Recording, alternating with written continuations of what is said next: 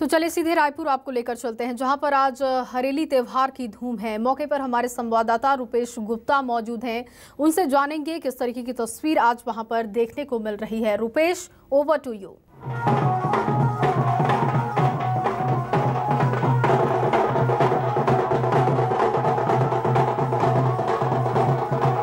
देखिए, हरेली त्योहार आज मनाया जा रहा है। ये किसानों के लिए बेहद ही खास त्यौहार माना जाता है। पारंपरिक त्यौहार है छत्तीसगढ़ का। मुख्यमंत्री भूपेश बघेल भी आज कार्यक्रम में शामिल होने वाले हैं।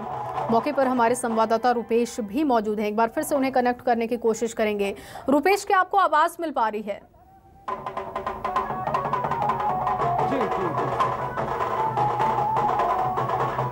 रुपेश, क्या आपको आवाज़ मिल पा रही है? अगर मेरी आवाज़ मिल पा रही हो तो बताइए जरा, हरेली की धूम कैसी देखने को मिल रही है? किस तरीके के कार्यक्रम के आयोजन वहाँ पर किए जा रहे हैं?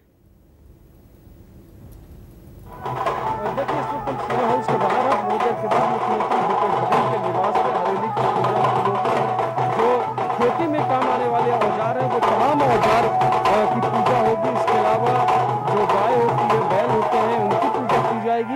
और इसके बाद फिर गायों को, बैलों को चीला होता है, गुड़ का वो खिलाया जाता है। इसके अलावा जो राउत होते हैं, जगह जगह जा करके गाँव में नमक खिलाते हैं और कुछ रोटियाँ खिलाते हैं, जिससे कि बरसात में होने वाली बीमारियाँ उनको ना हो, जो मौसम का बदलाव होता है। क्योंकि सावन के महीने में मनाया जाता है और छत्तीसगढ़ में जैसे भूपेश सरकार आई है, इसको लेकर के ज़बरदस्त उत्साह रहता है। और हर साल मुख्यमंत्री निवास में ये आयोजन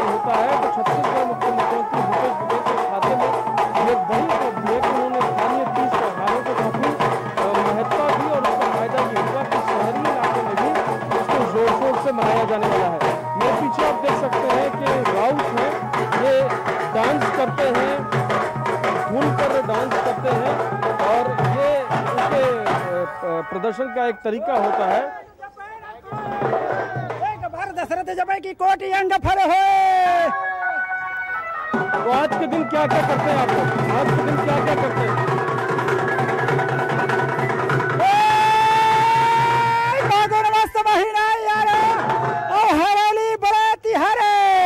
सबके बेटी मैहर जाके सुंदर जा सतनारे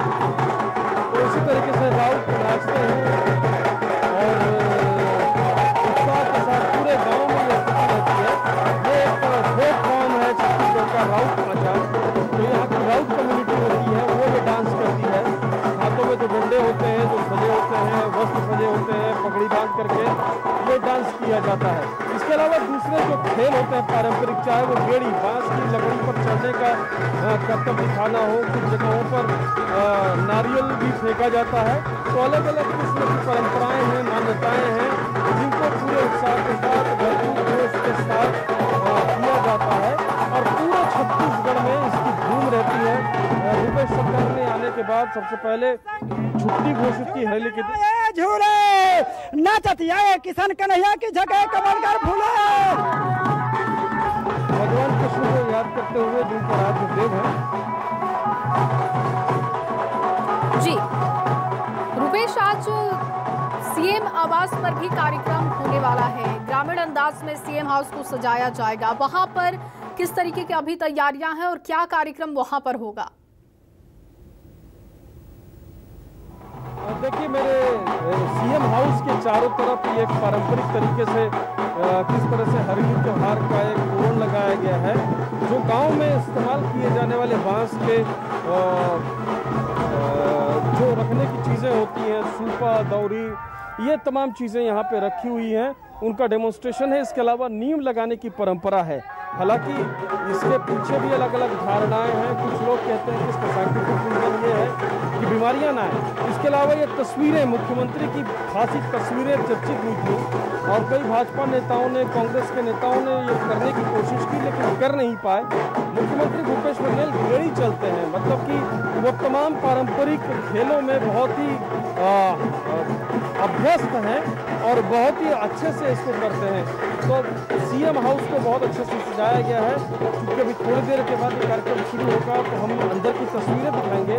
लेकिन फ़िलहाल बाहर की तस्वीरें आप देखिए कि तमाम लोग, जो छत्तीसगढ़ की संस्कृति और छत्तीसगढ़ के जो त्यौहार हैं, उनसे जुड़े हुए लोग हैं। उनके लिए काफ़ी उल्लास का मौका है और ये तमाम वो चेहरे छत्तीसगढ़ की राजनीति के सियासत के जिनको प्रतिनिधि चेहरे के तौर पर देखा जाता है यहाँ की संस्कृति के साथ उनको एसोसिएट किया जाता है। वो तमाम लोग आपको नज़र आ रहे हैं। कुंवर सिंह निषाद जो कि खुद एक लोक गायक हैं शकुंतला साहू गाँव से आती हैं। आदिवासी अमरजीत भगत जो कि संस्कृति मंत्री है मुख्यमंत्री भूपेश बघेल। चलिए रुपेश बहुत शुक्रिया आपका। है कि वो किस तरह से आपके ज़रिए हम ये तस्वीर देख पाए।